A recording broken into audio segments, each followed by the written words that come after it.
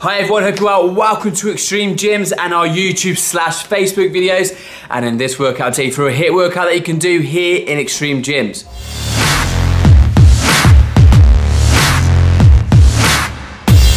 So welcome back to another video and in this video I'll take you through a HIIT workout that you can do here in the gym. So you need a cross trainer, rower, a box, a kettlebell and a power bag. And as you can see in the video you can move things around in this gym if you're a member or coming to a trial to give this workout a go. If you want to increase the intensity you can either do more rounds. I did three rounds of this workout but I did four mile run or a four mile run before I did this session. So if you want to increase the intensity, depending on what your goal is, you can either just do more rounds of this workout or go for a run on the treadmill. And this round is 60 seconds work, 30 seconds rest, and then two minutes rest in between each round.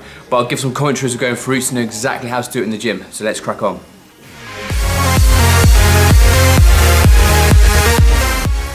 So the first exercise is the cross trainer and I was working at a level 10 here and you want to be pushing as hard as you can. 60 seconds work, 30 seconds rest.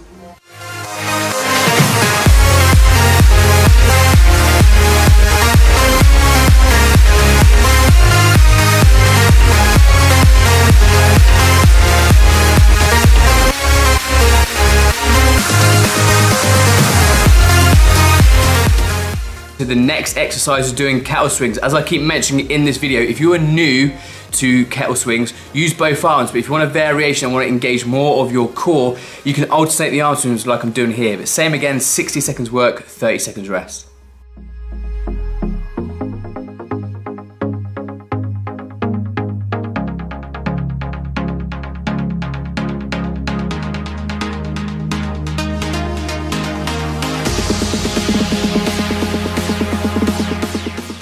And now going to a bit of a power, explosive motion. We're doing a clean and press with the power bag. We have a wide variety of weighted power bags in the gym. Here I've got the 25 kilos and make sure you are not arching your lower back picking up this weight. The last thing you want to do is give yourself an injury. The same again, 60 seconds work, 30 seconds rest.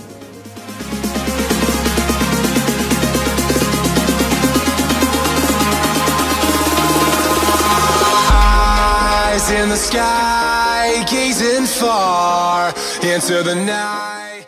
And then going to the next exercise, we're doing a burpee box jump. If you're completely knackered by this session or you are new to HIIT training, you can take out this box completely and just do normal burpees, but make sure you're standing straight at the top and make sure you've got a big enough jump. And again, we have a wide variety of boxes in the gym, so if that is too high, there are lower boxes that you can try out.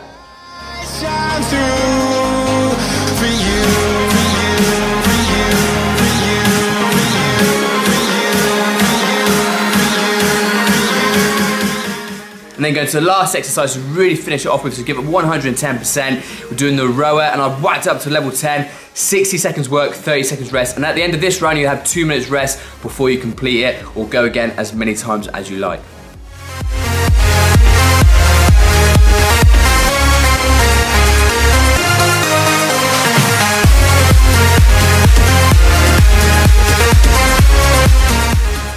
So that's it guys, hope you enjoyed it and if you are looking at this video and can see the gym in the background and thinking you want a piece of this, come and do a free trial of this. You can be a member here for a week, absolutely free of charge and see what we're all about. Wherever you watch this on YouTube or Facebook, it's in the first comment below if you're on YouTube and it's on the link below on our Facebook page. It will take you through to the website and then just go through the contact form, apply for a free trial and I'll personally get in touch with you to get you sorted. And it's a really good opportunity to see why we are, who we are, and for you to get good insight into what it's like to train here. And like I keep saying, I know you won't be disappointed, so you've got nothing to lose. Come and give us a go. But apart from that, whatever training you are doing, guys, take care, be safe, be healthy, and I'll see you all soon for another video.